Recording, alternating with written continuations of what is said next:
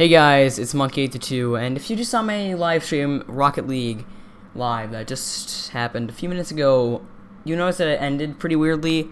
What happened was the game completely froze up, and my computer completely just like got like locked up completely. I could not use it. I could use it for maybe like three seconds at a time, and um, I had Task Manager open, and it said that 100% CPU, which meant that I was using like everything. I did not even see what it was, what was doing that. Before my screen went black, it closed my screen recorder.